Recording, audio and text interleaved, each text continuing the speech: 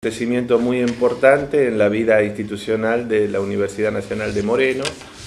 y es haber este, constituido la asamblea y haber elegido a su primer rector y vicerrector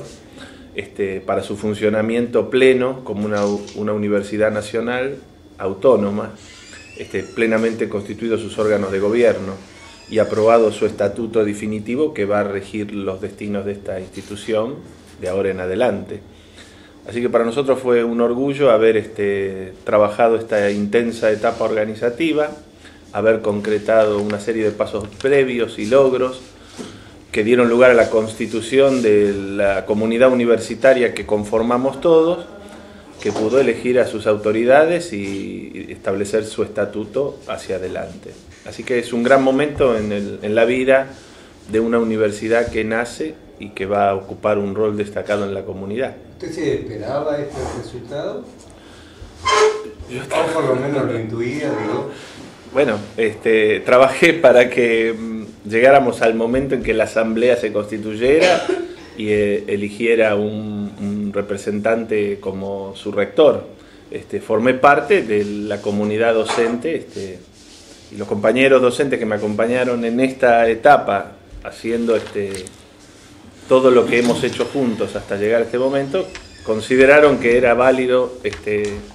que volviera a ocupar este rol en este primer periodo, lo cual es un orgullo porque voy a ser el primer rector electo por una comunidad universitaria formada por docentes, no docentes y estudiantes. Hubo este, elecciones estudiantiles, no docentes y docentes. Hubo lista única, este, de los 120 docentes en condiciones de votar, este, una treintena de ellos formamos una lista y este, nos presentamos a, a elecciones y, y, y, esa lista fue electa por el 90 y pico por ciento de los electores habilitados, de los docentes que tenía habilitado la universidad. La universidad tiene varios momentos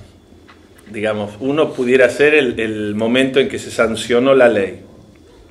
que eso fue en diciembre del 2009.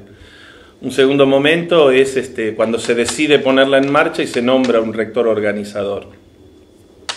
Un tercer momento es el que vos mencionaste, que fue el 14 de octubre del 2010, cuando la, la presidenta este, digamos, pone en funcionamiento la universidad, habíamos concretado una serie de pasos previos y se asigna este espacio que, que hoy, este, donde hoy funciona la universidad, este, y, bueno, y, y, se, y comienzan las actividades. Y bueno, el paso siguiente es este, que culmina este proceso de organización y, y, y, es el momento en que la comunidad universitaria que formamos se va a autogobernar este, y digamos en forma plena y autónoma como cualquier universidad nacional.